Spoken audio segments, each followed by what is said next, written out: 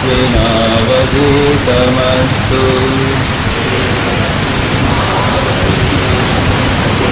मा विद्विषावहै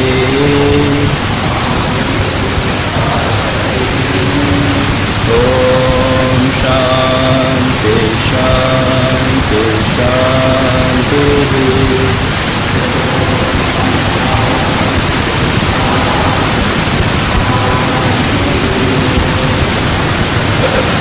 लोग जो यहाँ उपस्थित हैं, उनमें से कितने लोगों ने ध्यान पर जो थ्योरी क्लासेस हुई थी, उनको अटेंड किया था? हाथ उठाइए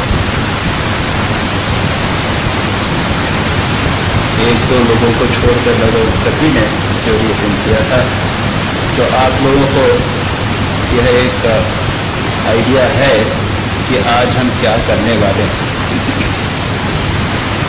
मैंने ध्यान के जो निर्देश हैं, उनमें कुछ प्रारंभिक बातें कही थी। जो प्रिपरेशंस हैं, उसके बारे में कुछ कहा था। मैंने कहा था कि समय के संबंध में। यह भी कहा था कि खाली पेट करना है। स्थान, एक शुद्ध पवित्र स्थान होगा।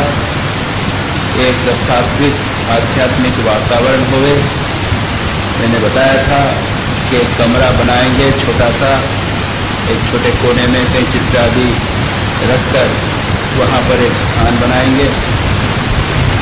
और यह भी कहा था मैंने कि स्नान के पूर्व या तो स्नान कर लेंगे या फिर मुँह हाथ धो लेंगे।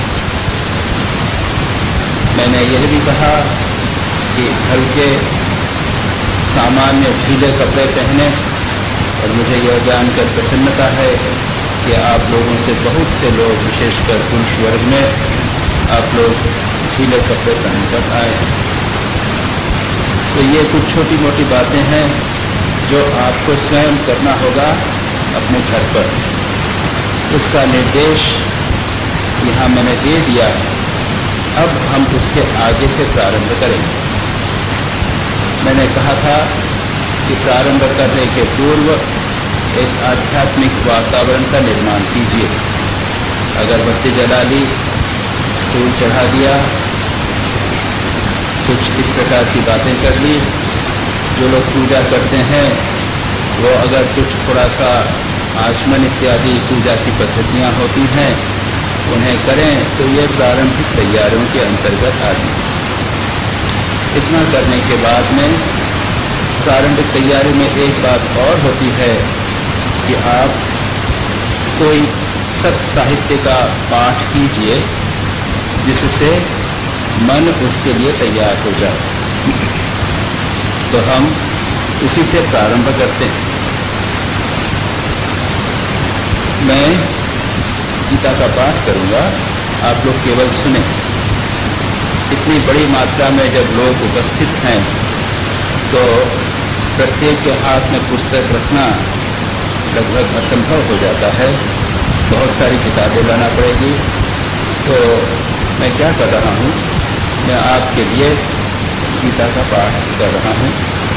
आप अपने घर पे जो कुछ भी करना चाहें, अगर आप गीता पढ़ना चाहें, या श्री राम कृष्ण वचनामृत पढ़ना चाहें, कुछ भी पाँच मिनट के लिए बैठकर इसका पाठ कर ले। वस्तुतः यहाँ आश्रम में तो वातावरण ऐसा है कि आप जैसे ही यहाँ बैठेंगे तो मन तैयार हो जाता है, ध्यान के लिए सांसारिक बातें दूर हो जाती हैं और मन स्वाभाविक रूप से ध्यान के लिए प्रस्तुत हो जाता है। जो भी हो, हम लोग जो बात प्रारंभ कर रहे हैं, वह यह है। हम पहले आसन पर बैठकर रिलैक्स्ड होकर अभी आसन की मैं मैंने इंस्ट्रक्शंस अभी नहीं दी हैं। रिलैक्स होकर हम पहले पाठ करेंगे केवल मैं करूँगा और इसमें संस्कृत और हिंदी दोनों विद्यमान हैं। मैं केवल हिंदी पढ़कर सुनाऊँगा आप लोग ध्यान से सुने। उद्देश्य है कि मन ध्यान के लिए तत्पर हो। मन और इंद्रियों सहित शरीर को रखने वाला आशा रहित और संग्रह रहित योगी अकेला ही एकांत में स्थित होकर आत्मा को निरंतर परमात्मा में लगावे। शुद्ध भूमि में जिसके ऊपर क्रमशः कुशा, मृगछाल और वस्त्र बिछे हैं, जो न बहुत ऊँचा है और न बहुत नीचा ऐसे अपने आसन को स्थिर स्थापन करके उस आसन पर बैठकर चित्त और इंद्रियों की क्रियाओं को वश में रखते हुए मन को एकाग्र करके अंतकरण की शुद्धि के लिए योग का अभ्यास करें। मैंने ऐसा एक, कुछ अंश चुना है जो योग से संबंधित ही है। काया, सिर और गले को समान एवं अचल धारण करके और स्थिर होकर अपनी नासिका के अग्रभाग पर दृष्टि जमाकर अन्य दिशाओं को न देखता हुआ ब्रह्मचारी के व्रत में स्थित भय रहित तथा भली भांति शांत अंतकरण वाला सावधान योगी मन को रोककर मुझमें चित्त लगाता हुआ और मरे, मेरे परायण होकर स्थिर हो गए वश में किए हुआ, किए हुए मन वाला योगी, इस प्रकार आत्मा को निरंतर मुझ परमेश्वर के स्वरूप में लगाता हुआ, मुझमें रहने वाली परमानंद की पराकाष्ठा रूप शांति को प्राप्त होगा हे अर्जुन, यह योग न तो बहुत खाने वालों का, न बिल्कुल न खाने वालों का। न बहुत शयन करने के स्वभाव वालों का और न सदा जागने वाले का ही सिद्ध होता है। दुख का नाश करने वाला योग तो यथा योग्य आहार विहार करने वाले का, कर्मों में यथा योग्य चेष्टा करने वाले का और यथा योग्य सोने तथा जागने वाले का सिद्ध होता है। अत्यंत वश में किया हुआ चित्त, जिस काल में परमात्मा में भली भांति स्थित हो जाता है, उस काल में संपूर्ण भोगों से स्पृहा रहित पुरुष योग युक्त है, ऐसा कहा जाता है। इस प्रकार से कुछ मिनट तक पाठ करने के बाद में हम दूसरे स्टेप पर आते हैं। हम बैठ गए हैं और हम अब परमात्मा से प्रार्थना करते हैं। प्रार्थना कई प्रकार की हो सकती है और आप लोग अपनी इच्छा अनुसार जो प्रार्थना चाहें, उसको आप सिलेक्ट कर सकते हैं। मैंने कुछ अंग्रेज़ी के, हिंदी के कुछ अंशों को चुना है और मैं इसको पढ़ूँगा। आप लोगों से निवेदन है कि अपने हाथ जोड़। दें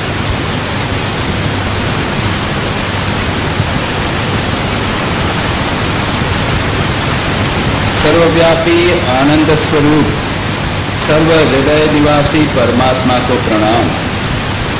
वह भूत, वर्तमान और भविष्य का ईशान करता है।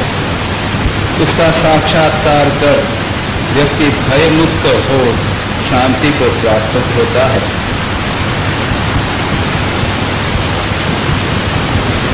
सर्वव्यापी आनंद सर्व स्वरूप परमात्मा जो आ, हमारी आत्मा की भी आत्मा है वे हम सभी की रक्षा करें। हम सभी का मार्गदर्शन करें। हम सभी का पोषण करें।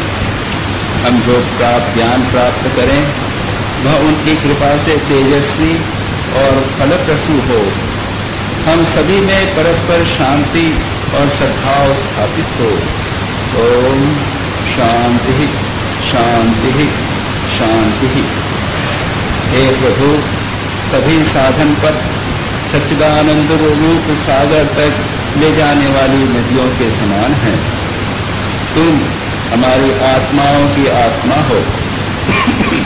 तुम ही पिता, तुम ही माता, तुम ही बंधु, सखा तुम ही हो, तुम ही विद्या, धन तुम ही, हमारे सर्वस्व तुम ही हो। हमें असत से सत की ओर, अंधकार से प्रकाश की ओर और मृत्यु से अमृतत्व की ओर ले चले। हमारी आत्मा में पूर्णतया प्रकाशित हो और हमारी प्रेरक सत्ता से, अपनी प्रेरक सत्ता से हमें धन्य करो। हम अपने हृदय के अंतरतम प्रदेश में आपका साक्षात्कार करें। हम अपने सभी सह प्राणियों में आपका दर्शन करें। सब में विराजमान आपको हम प्रेम करें और उनमें आपकी सेवा करें। संसार में शांति विराजे। सभी भय मुक्त हो गए सभी सुख, शुभ का साक्षात्कार करें। सभी सदविचारों के द्वारा प्रेरित हों। सभी सर्वत्र सुखी होवें ओम शांति शांति ही शांति। ही हम उस सदगुरु को प्रणाम करते हैं, जो ब्रह्मानंद स्वरूप, परम सुखमय, केवल और ज्ञान। ज्ञान घन मूर्ति हैं। जो शीतोष्ण सुख दुख जन्म मृत्यु आदि द्वंद्वों से परे हैं, जो गगन के समान पवित्र और निर्विकार हैं, जिन्हें तत्वमस्यादि महावाक्यों द्वारा जाना है, जाना जाता है, जो एक अद्वितीय, नित्य, विमल और अचल हैं, जो समस्त दुखी वृत्तियों के साक्षी हैं, जो मन के परे हैं, तथा जो गुणातीत हैं। हम उसी का स्मरण करते हैं, उसी को भजते हैं, उसी के साक्षी को इसी इसी जगत के साक्षी रूप को नमन करते हैं। इस एकमात्र सदा से आलम्बर ईश्वर की हम शरण में जाते हैं। जो भवसागर पार करने हेतु एक बोझ के समान है। हमारी देह शुद्ध है, हम पाप और मल से रहित हैं। और अपने ज्योतिर्मय स्वरूप का साक्षात्कार करें। हमारे मन शुद्ध हों, हम पाप और मल से रहित हों और अपने ज्योतिर्मय स्वरूप का साक्षात्कार करें। हमारी आत्माएँ शुद्ध हैं, हम पाप और मल से रहित हैं और अपने ज्योतिर्मय स्वरूप का साक्षात्कार करें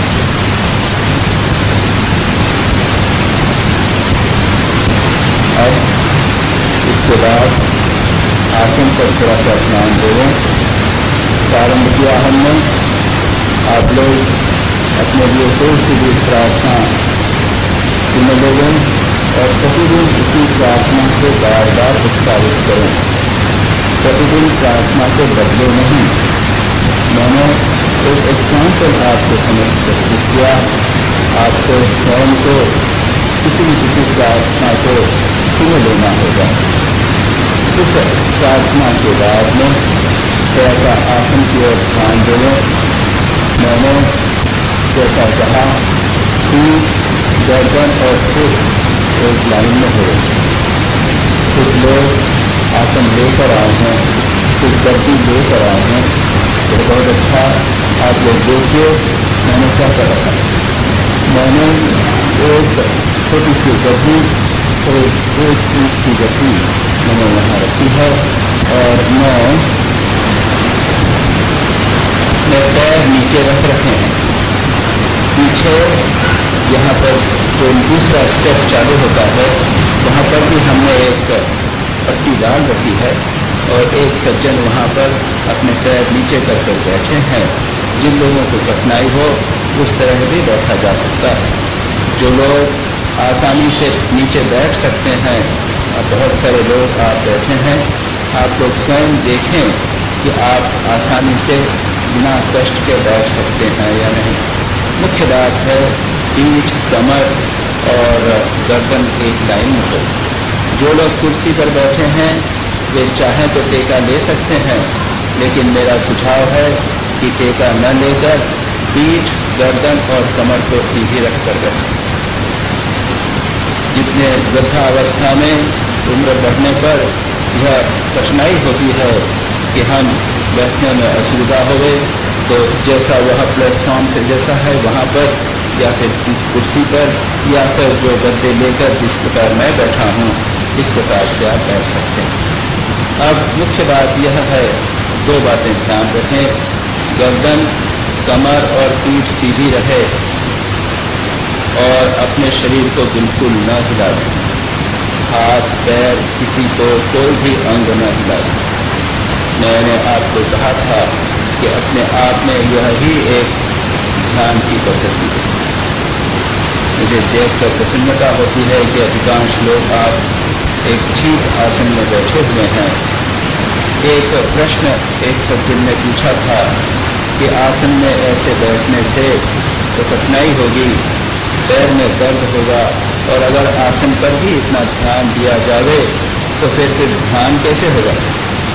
प्रारंभ में कुछ दिनों तक संभवतः आपको कठिनाई हो सकती है, लेकिन एक बार अभ्यास हो जाने के बाद फिर शरीर की ओर मन नहीं जाएगा और आप बिना शरीर की चिंता किए बैठे रह सकेंगे, ध्यान कर सकेंगे। तो नेक्स्ट स्टेप इज़ आसन। आसन आप बैठे हैं, हम बैठे हुए हैं। प्रार्थना हमने कर ली, पाठ हमने कर लिया और हमने प्रणाम भी कर लिया। इसके बाद प्राणायाम। अब इस प्राणायाम के लिए और एक बात और बता दूँ, जो हाथ हैं, ये अपने हाथ, चाहे तो आप ऐसे बाँध के रखें चाहे एक हथेली पर दूसरी, बाई हथेली पर दूसरी हथेली रखें, या कुछ लोग चाहें तो अपने घुटनों पर इस प्रकार हाथ रख सकते हैं। जो भी हाथ रखें, हाथ को हिलाएँगे नहीं, जहाँ रखेंगे, वहाँ रख लीजिए, उनको हिलाइएगा नहीं। अब, इसके बाद में हम प्राणायाम करेंगे। प्राणायाम के लिए दाहिने हाथ का उपयोग किया जाएगा। दाहिने हाथ का अंगूठा और बाएँ हाथ की दो उंगलियों का, उसी हाथ की दूसरी उंगलियों का। तो इसके लिए केवल दाहिने हाथ का उपयोग करें, लेकिन बाएँ हाथ को न हिलाएँ। प्राणायाम की पद्धति यह होगी, जैसा मैं आपको बता चुका हूँ, कि आप दाहिने नासिका को दाहिने अंगूठे से बंद करेंगे और बाएँ बाएँ नासिका से श्वास को धीरे धीरे अंदर लेंगे। अंदर लेते समय मन ही मन काउंट करेंगे। एक, दो, तीन, चार, पाँच छ सात, आठ। करीब करीब इस स्पीड से। इसके बाद में बाएँ नासिका को दोनों उंगलियों से बंद कर देंगे और दाहिनी नासिका से श्वास को बाहर निकालेंगे। उसके बाद दाहिनी नासिका से श्वास को अंदर लेंगे और बाई नासिका से श्वास को निकाल देंगे। उसी मात्रा में, जिस मात्रा में मैंने कहा बाई नासिका से श्वास को अंदर आठ काउंट करते हुए लेना है और बाहर निकालना है, वह भी एक, दो, तीन, चार, पाँच छ सात, आठ। इसके बाद सांस लेना है और उसके बाद सांस निकालना तो अब प्रारंभ करते हैं। दाहिनी नासिका को अपने दाहिने अंगूठे से बंद कीजिए और बाई नासिका से धीरे धीरे एक से आठ काउंट करते हुए श्वास अंदर लीजिए। श्वास अंदर लेने पर जब आठ काउंट खत्म हो जाए तब बाई नासिका को उंगली से बंद करके दाहिनी नासिका को खोलकर श्वास को बाहर निकालिए मन ही मन आठ काउंट कीजिए। जब दाहिनी नासिका से श्वास बाहर निकल गई, उसके बाद फिर दाहिनी नासिका से बिना उंगलियों को हिलाए दाहिनी नासिका से श्वास को अंदर लीजिए। उसके बाद दाहिनी नासिका को बंद करके बाई नासिका से श्वास को निकाल दीजिए। उसके बाद में दाहिनी नासिका से फिर श्वास बाई नासिका से श्वास लेंगे और उसी प्रक्रिया को वापस करेंगे। आँखें बंद रखें, मन को श्वास पर कंसंट्रेट करें और ऐसा धीरे धीरे करते जाएँ। और इसके साथ ही मैं कुछ देर बाद आपको और इंस्ट्रक्शंस दूँगा कि आपको क्या सोचना है। अभी तो केवल मन ही मन एक, दो, तीन, चार, पाँच, छः, सात, आठ, एक, दो, तीन, चार, पाँच, छः, सात, आठ, वह धीरे धीरे मन ही मन काउंट करते रहे।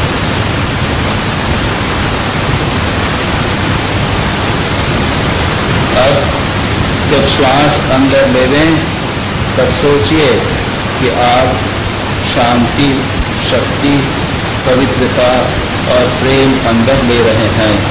और जब श्वास बाहर फेंकें, तब सोचिए कि आप वही शांति, शक्ति, पवित्रता, प्रेम बाहर फेंक रहे हैं।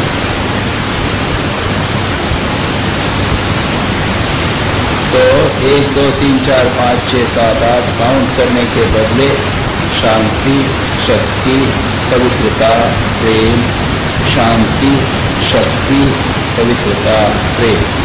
ये सोचिए, उसके बाद जब बाहर निकालें तब भी काउंट करने के बदले शांति, शक्ति, पवित्रता, प्रेम, शांति, शक्ति, पवित्रता, प्रेम। शांति, शक्ति, पवित्रता, प्रेम, शांति, शक्ति, पवित्रता, प्रेम। अब आगे की सीढ़ी में जब आप शांति, शक्ति, पवित्रता, प्रेम ऐसा जब मन ही मन बोलते हैं तो उन पर थोड़ा सा ध्यान भी दीजिए। शांति का अर्थ क्या?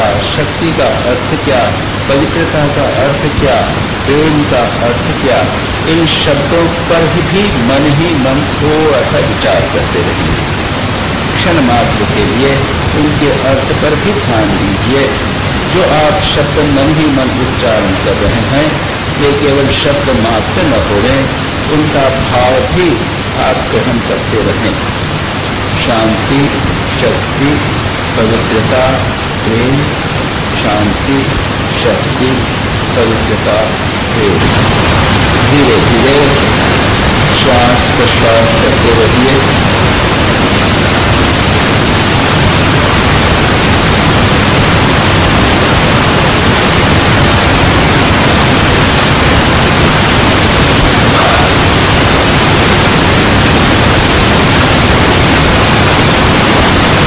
शांति शक्ति पवित्रता प्रेम, शांति, शक्ति, पवित्रता, प्रेम।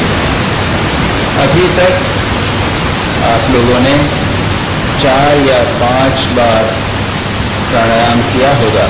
यानी एक प्राणायाम में एक बार सांस अंदर लेना, दूसरी बार निकालना, फिर अंदर लेना, फिर निकालना। ऐसा एक प्राणायाम आप चार या पाँच प्राणायाम कर चुके होंगे। इसके बाद जो प्राणायाम अभी आप कर रहे हैं, उसे पूरा कीजिए। उसके बाद एक, दो प्राणायाम और कीजिए और उसके बाद में उसे बंद करके आप शांति से बैठ जाइए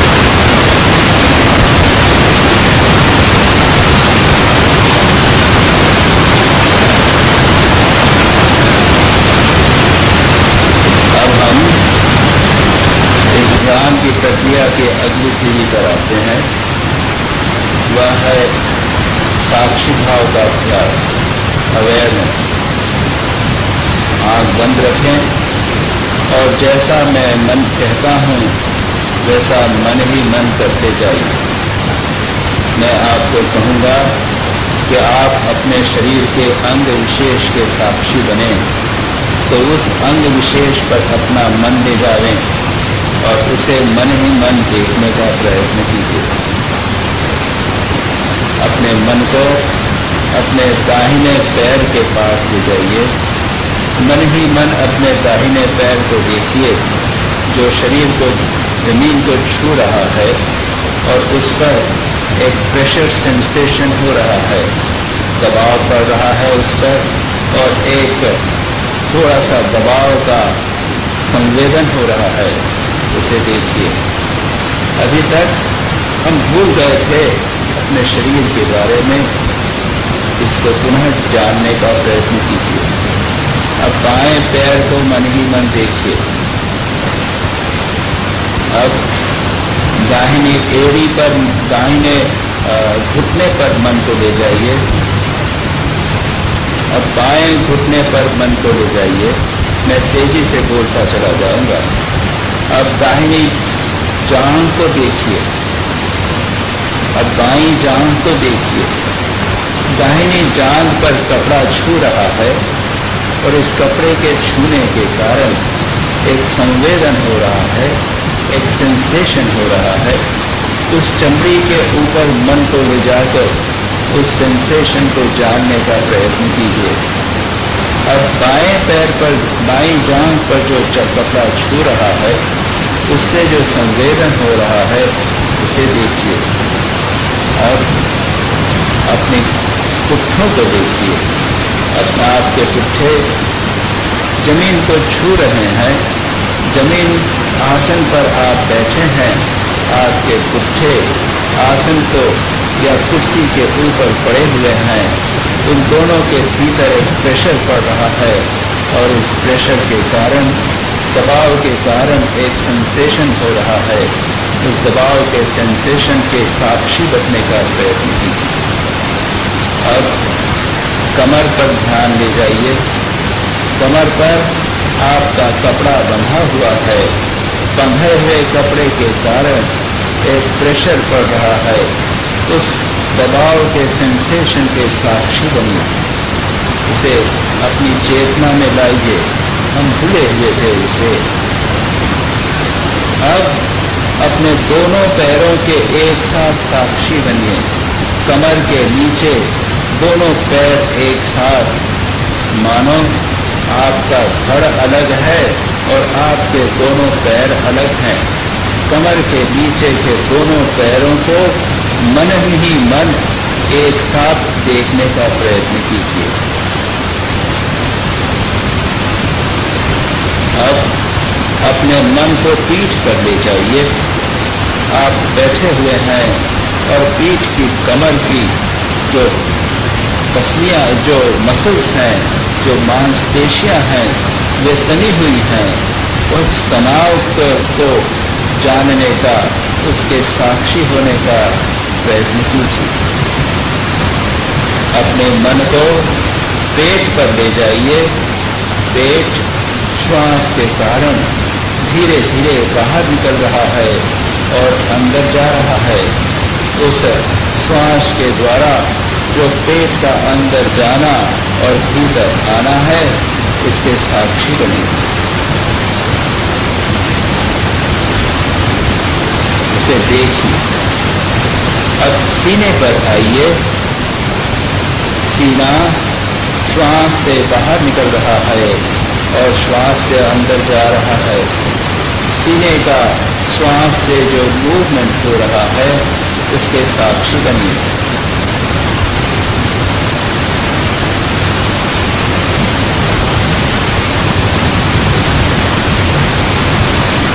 अब अपने मन को दाहिने कंधे पर ले जाइए अब दाहिने पर बाह पर अपने मन को ले जाइए। दाहिनी कोहनी पर अपने मन को ले जाइए। दाहिने हथेली पर अपने मन को ले जाइए और दाहिनी उंगलियों पर अपने मन को ले जाइए। अब मन ही मन समग्र हाथ को कंधे से लेकर उंगलियों तक अपने सारी दाहिने हाथ को के साक्षी एक साथ बनिए। मानो, यह दाहिना हाथ आपसे अलग है, आपके धड़ से अलग है, आप उसे देखिए। अब बाएँ कंधे पर मन को ले जाइए। बाई बाह को देखिए मन ही मन। बाई कोहनी को देखिए। बाएँ हथेली पर मन को ले जाइए। और बाई उंगली हाथ की उंगलियों को देखिए। अब पूरे बाएँ हाथ को कंधे से लेकर उंगली तक एक साथ देखिए। मानो आपका बाया हाथ आपके धड़ से अलग है।